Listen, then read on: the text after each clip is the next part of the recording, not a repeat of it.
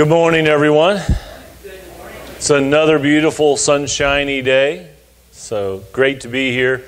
Great to be here with each one of you. And uh, I hope that as we go through this worship service today, that there, you, you can take something from it that uh, will be meaningful and that will help you throughout the week. We're going to talk again today about one of the miracles that Jesus performed and then see how we may learn from it and apply that in our lives today. So, think about those miracles that Jesus performed as we prepare our hearts and minds for worship this morning and listen to our prelude.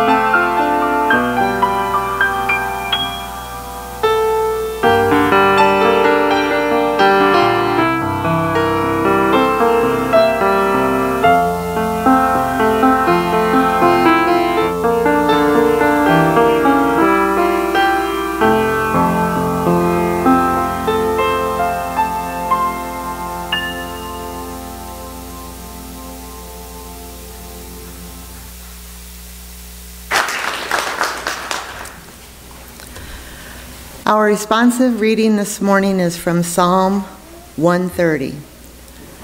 Out of the depths I cry to you, O Lord.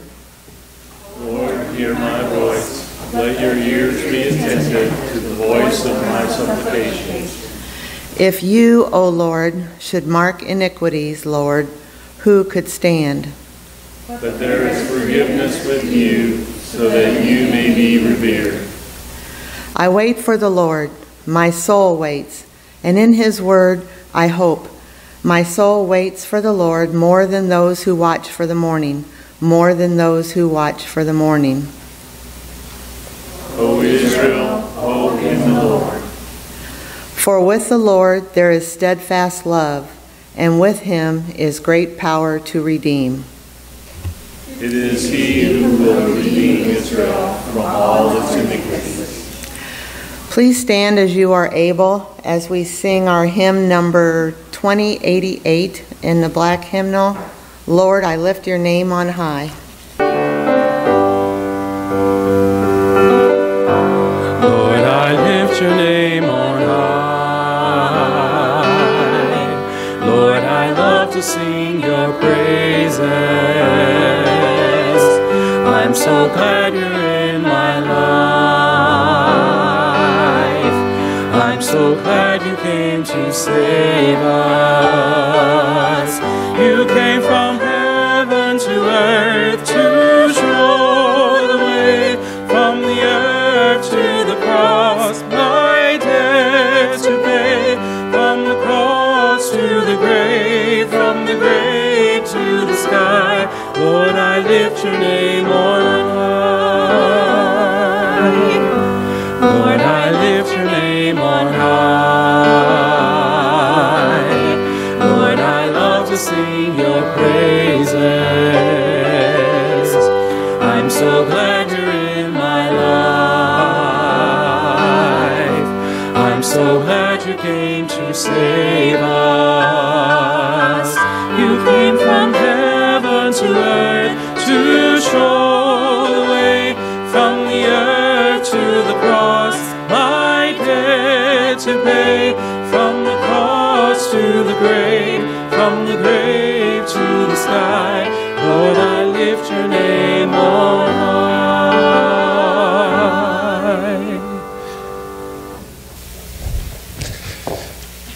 are you, Alex?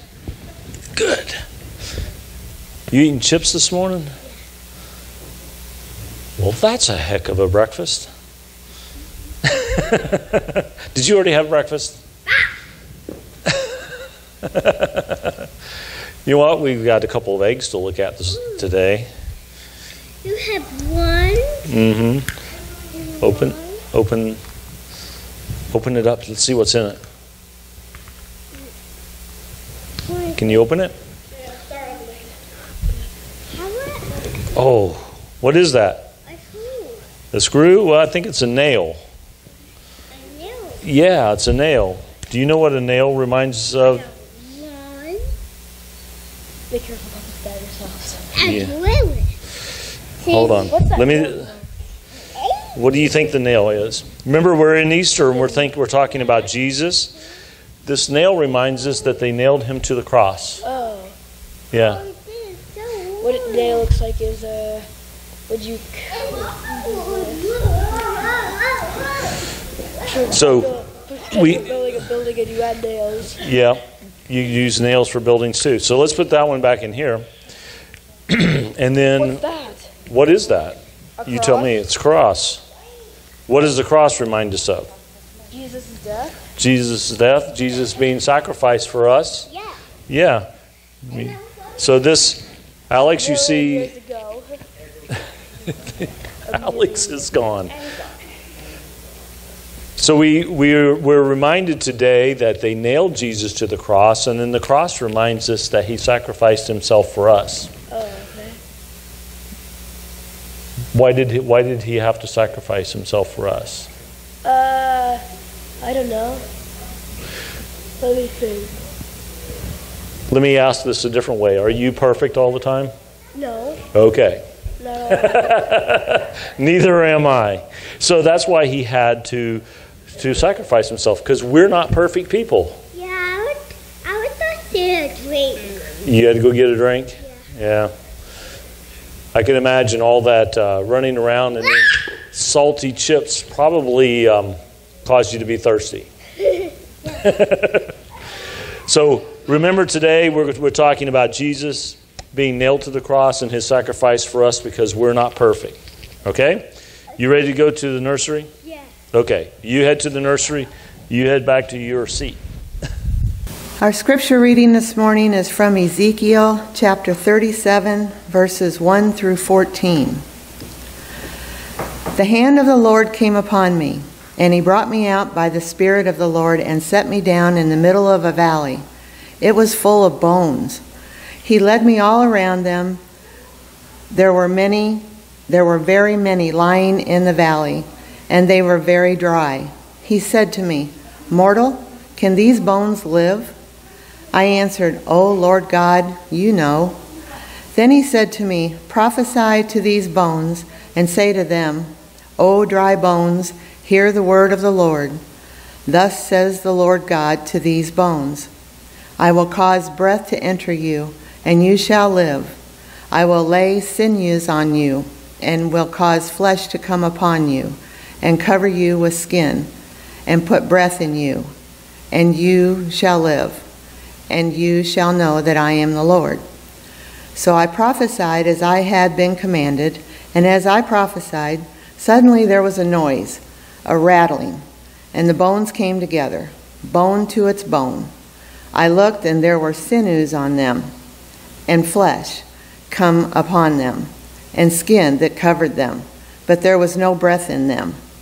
Then he said to me, Prophesy to the breath, prophesy, mortal and say to the breath, Thus says the Lord God, Come from the four winds, O breath, and breathe upon these slain, that they may live. I prophesied as he commanded me, and the breath came into them, and they lived, and stood on their feet, a vast multitude. Then he said to me, Mortal, these bones are the whole house of Israel. They say, Our bones are dried up, and our hope is lost. We are cut off completely. Therefore, prophesy and say to them, Thus says the Lord God, I am going to open your graves and bring you up from your graves, O my people, and I will bring you back to the land of Israel, and you shall know that I am the Lord. When I open your graves and bring you up from your graves, O my people, I will put my spirit within you, and you shall live and I will place you on your own soil. Then you shall know that I, the Lord, have spoken and will act, says the Lord.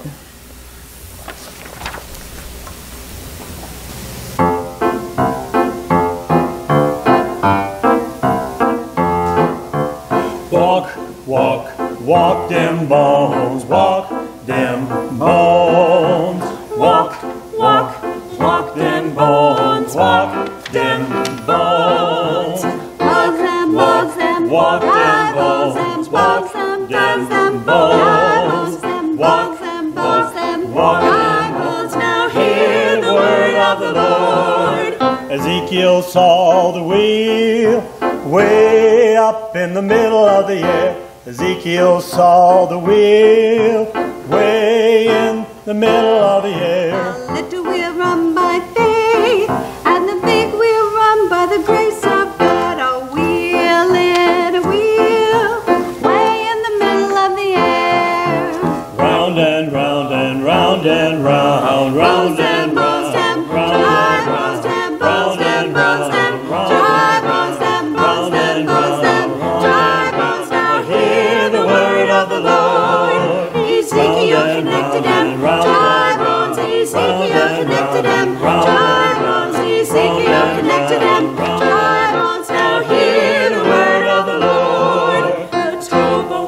To the foot bone, the foot bone's connected to the ankle bone, the ankle bone's connected to the leg bone, the leg bone connected to the knee bone, the knee bone's connected to the thigh bone, the thigh bone's connected to the hip bone, the hip bone's connected to the backbone, the backbone's connected to the shoulder bone, the shoulder bone's connected to the neck bone, the neck bone's connected to the head. Now hear the word of the Lord.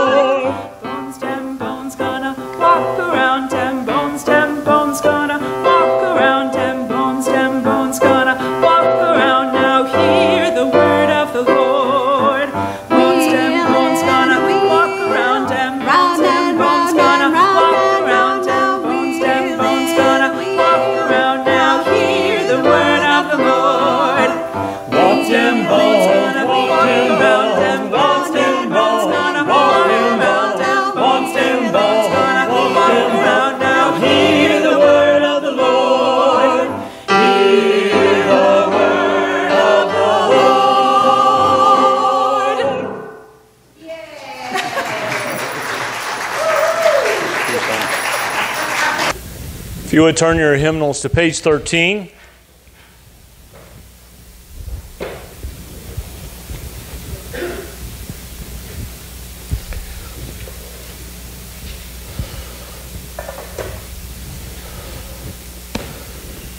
The Lord be with you. Lift up your hearts. Let us give thanks to the Lord. It is right and a good and joyful thing, always and everywhere, to give thanks to you, Father Almighty, creator of heaven and earth. And so, with your people on earth and all the company of heaven, we praise your name and join their unending hymn.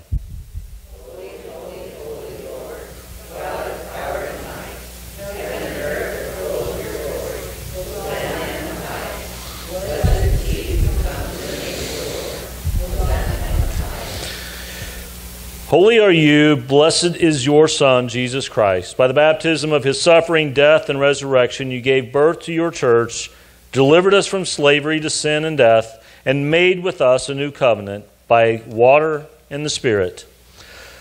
On the night in which he gave up or gave himself up for us, he took bread, gave thanks, and broke the bread, and gave it to his disciples, and said, Take, eat, this is my body, which is given for you. Do this in remembrance of me. When the supper was over, he took the cup, gave thanks to you, gave it to his disciples, and said, Drink from this, all of you. This is my blood of the new covenant, poured out for you and for many for the forgiveness of sins. Do this as often as you drink it in remembrance of me. And so, in remembrance of these, your mighty acts in Jesus Christ, we offer ourselves in praise and thanksgiving as a holy and living sacrifice in union with Christ, offering for us as we proclaim the mystery of faith.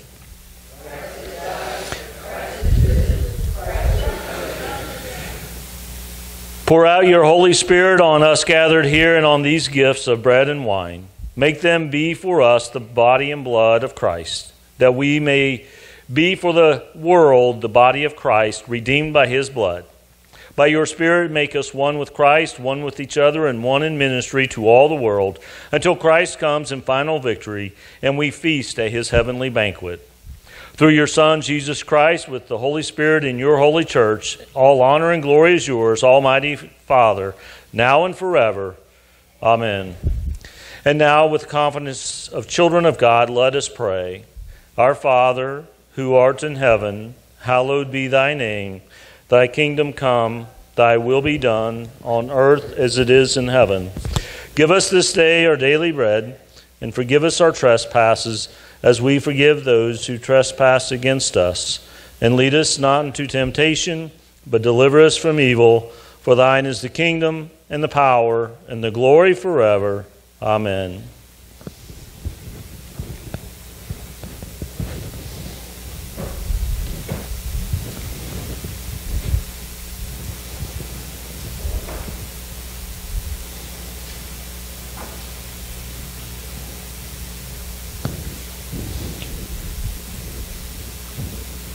body of Christ given for you. The body of Christ given for you. The body of Christ given for you. The body of Christ given for you.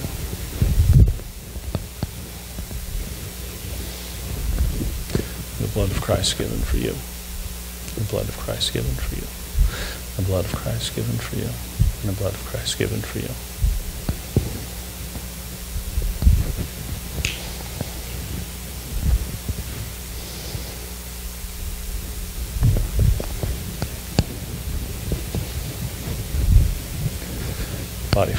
For you.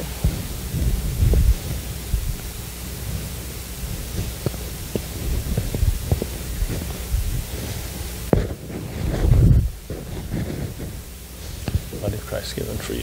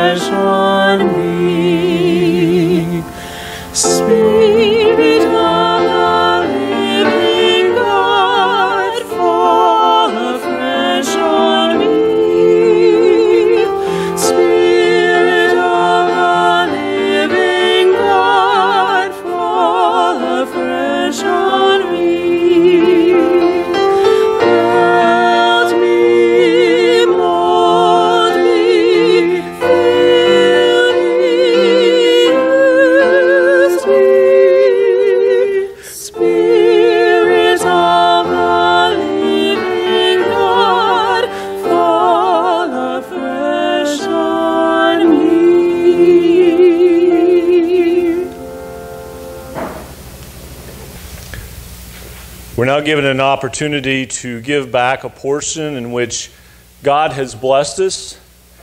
And as we just sang in that hymn, may we allow the Spirit to guide us in how we give back, and may we give back with joyous hearts.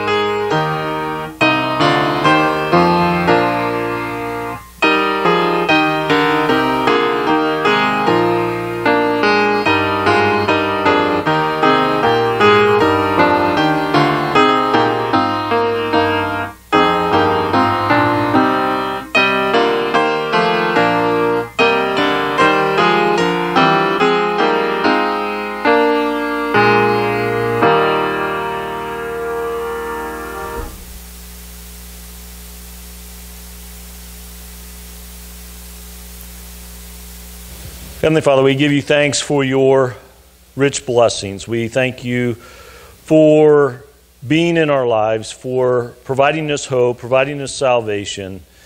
And Lord, we ask that you would bless this offering that we give back to you to be used by you, by your church. And we ask that it may be used in a way to expand your church, expand your kingdom here on this earth. It's in Jesus' name we pray. Amen.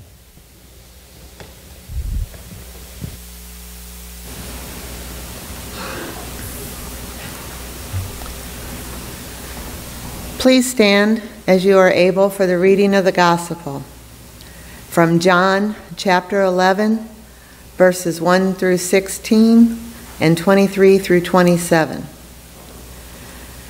Now a certain man was ill, Lazarus of Bethany, the village of Mary and her sister Martha.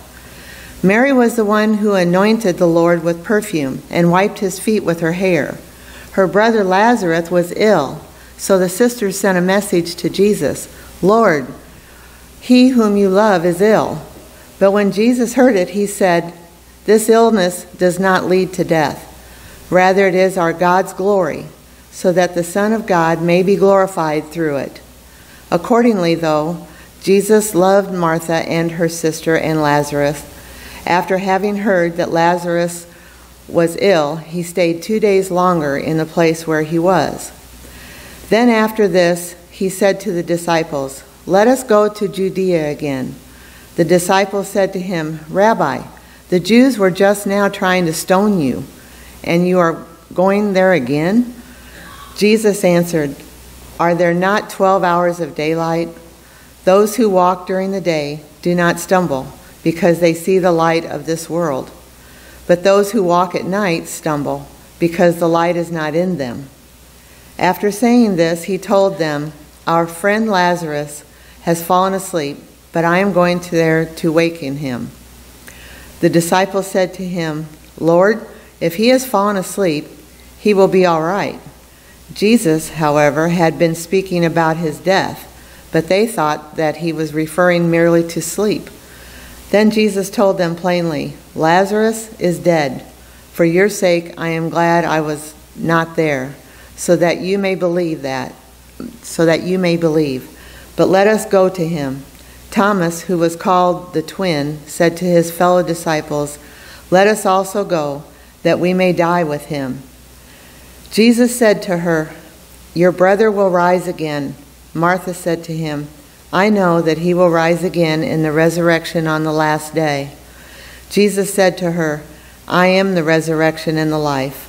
Those who believe in me, even though they die, will live, and everyone who lives and believes in me will never die. Do you believe this? She said to him, Yes, Lord. I believe that you are the Messiah, the Son of God, the one coming into the world.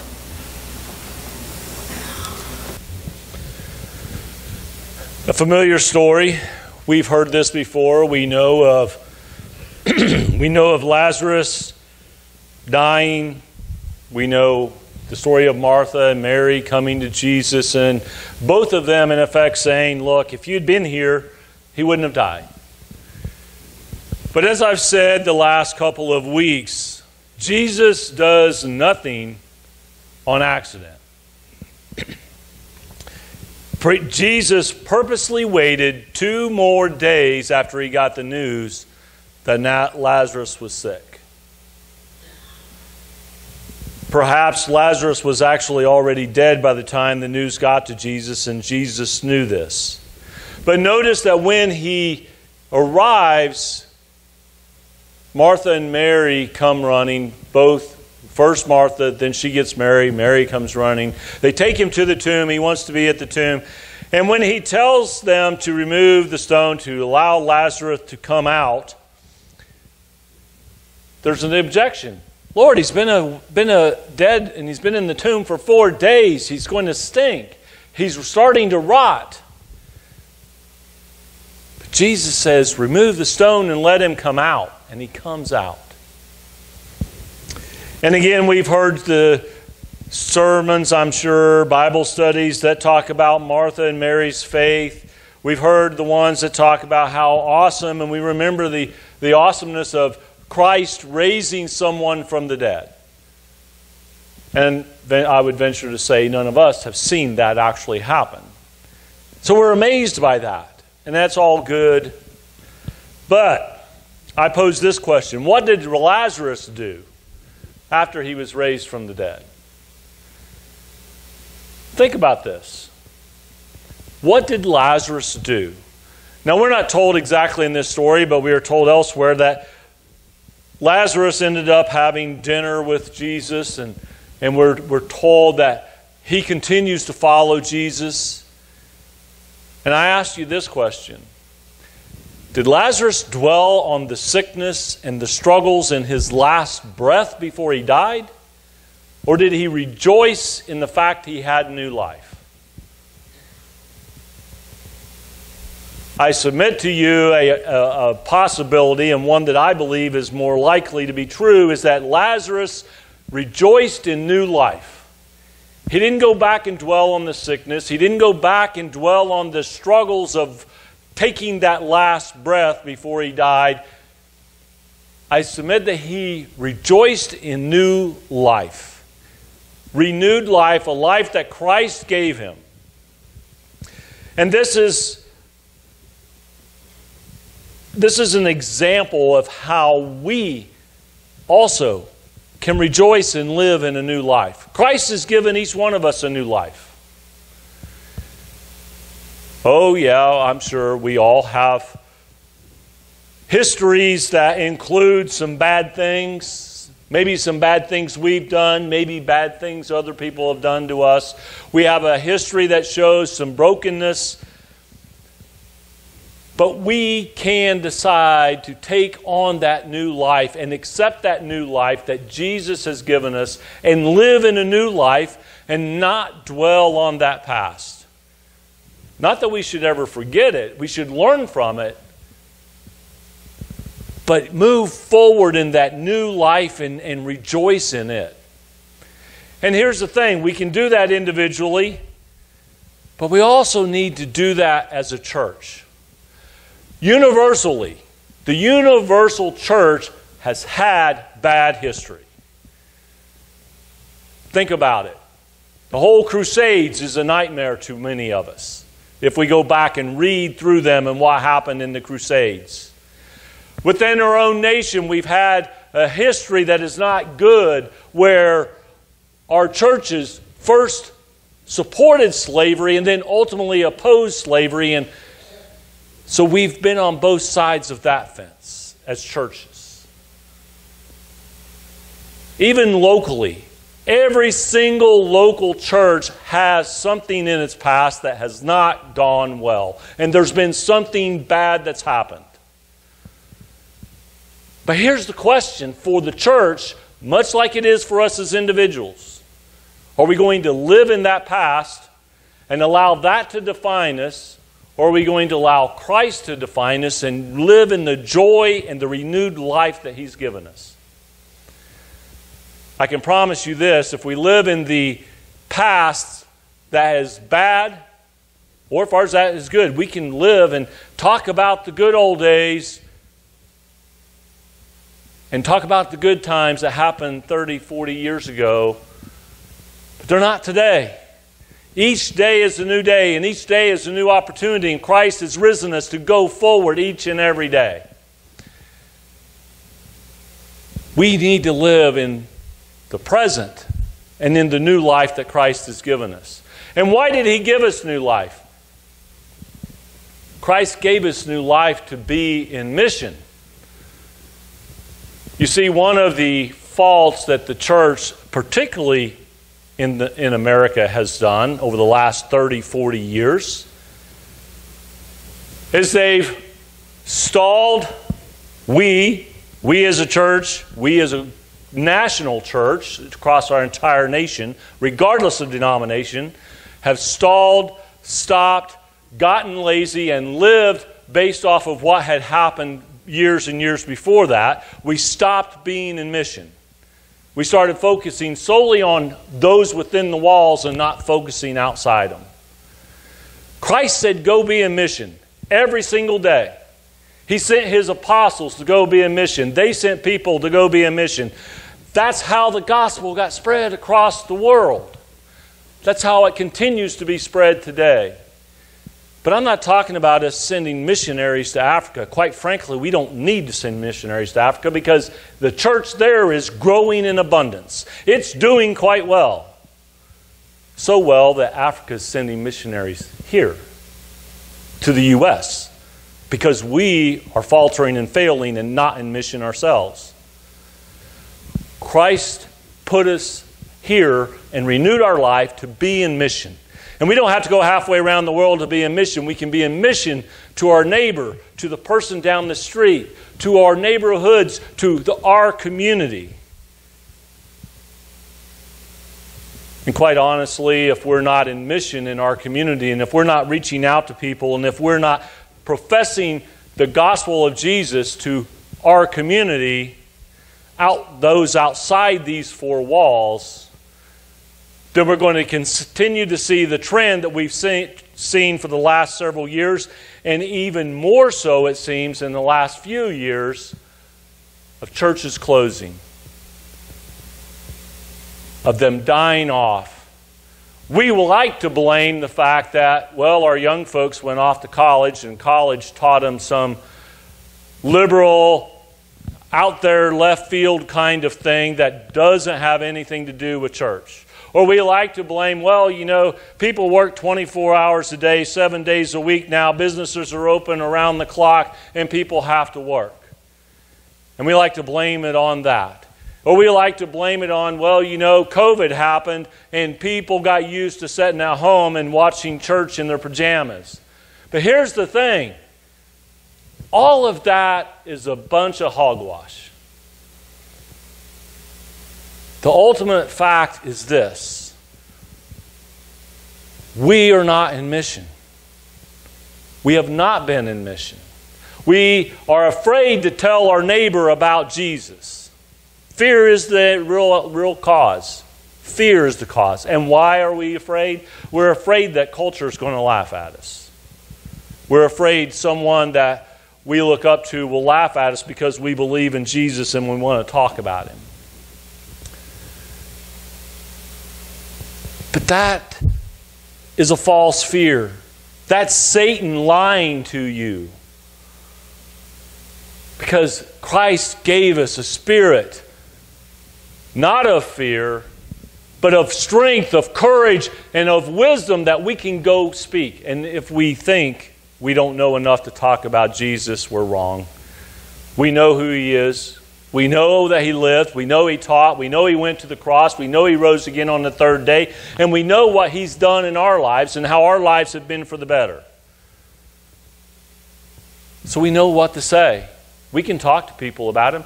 If they ask some deep theological question that you don't know how to answer, that's okay to say, I don't know. But we can go do some research and find out. But the basics, you know all of them. And quite frankly, you all know a whole lot more than you think you know. You don't give yourself enough credit. You know a lot that you don't think you know. We need to be in mission. Christ put us in mission. He renewed our life, just like He lit, brought Lazarus up from the grave and He renewed his life, gave him a new life. He's given us a new life. So, are we going to go live in that life in joy, as I am suspecting Lazarus did? Or are we going to dwell on the past and dwell on the bad and say that's what defines us?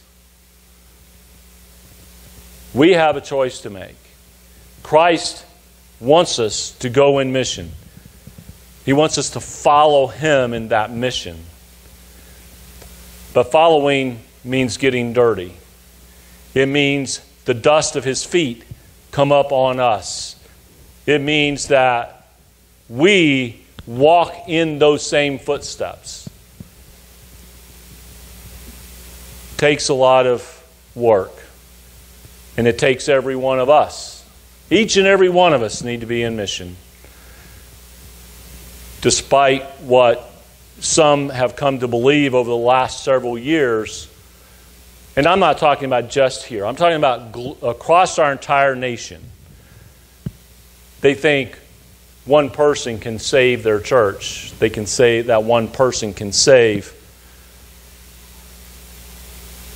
a particular group of people and keep them going. One person can have an impact, but one person can't do it by themselves. It takes all of us. It takes every single person to be energized and every single person being in mission. So that's a challenge for all of us. Not just today, not just tomorrow, not just this week, but every week, every day for the rest of our lives, telling people about Jesus. If you would bow with me in prayer. Heavenly Father, we thank you for this example of Lazarus and, and Jesus raising him from the dead, an example that shows us that you have conquered death and that we don't have to live in a past that's filled with illness and sickness or a bad history. We can live in a new life, a joyous life that is given by your Son, Jesus Christ. It's in His holy name we pray. Amen.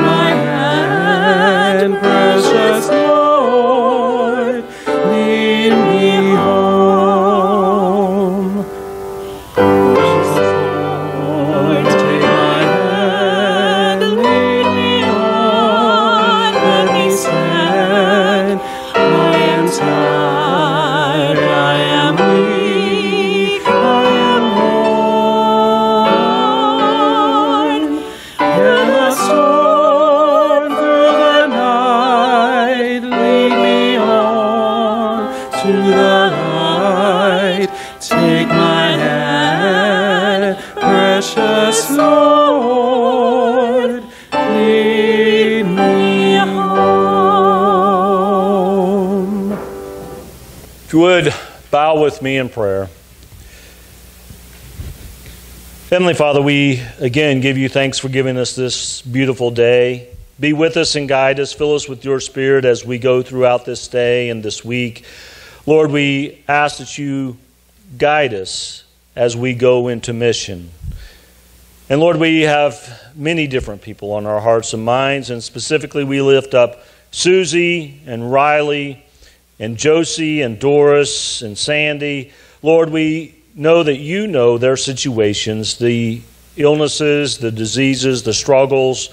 You know what they're dealing with, and we ask that you be with them, that you give them strength, give them courage, that you bring about healing as needed. And God, we ask that you bless each and every one of them. Lord, we ask that you work through the leaders of our nation, that you bless them, that you guide them, and that you direct them according to your plan. And Lord, be with our brothers and sisters around this world. Continue to give them strength and courage to speak about your Son, Jesus Christ. And Lord, especially be with those who are being persecuted for their faith. Give them the strength to continue to testify about your Son and make their message effective, that it may reach their persecutors and bring them into your kingdom as well. Lord, we're thankful for your, the example of your Son, Jesus, for him coming to this earth to be our perfect example, to be our teacher, and to show us that you have overcome death and that we should rejoice in this new life that he has given us, and that we need to be about te- teaching others and telling others about this, this saving grace that comes through your Son and the joy of a hope and salvation that you have promised. It's in Jesus' holy name we pray. Amen. As you go this week, may each of you go to go in mission, to tell others about Jesus, and may you believe that He will give you the strength you need to do so. Amen. Couple of quick announcements. Um, this evening, we are uh, to serve at Horizons. It's our week once again, our Sunday once again to serve there. Uh, so if you uh, need help, then although I'm getting some confused looks, maybe, uh, anyway, Horizons can always use help. Serving in Sunday evenings, there's a uh, they always have on on uh, Sunday evenings a meal, and it's served by churches, and so go and um, help them out if you are able. Also, uh, we will have breakfast this morning, as some of you may be able to smell uh, the, the, the uh, fragrant aromas coming from that direction. So stay and, and enjoy fellowship in uh, uh, the Jensen Hall for our breakfast.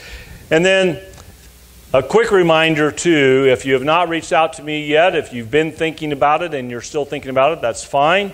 But if you would like to place membership here on Easter Sunday, let me know uh, sometime between now and, and, next Sunday so that we can prepare everything uh, for you to do so. With that, may each of you go in peace. Thank you.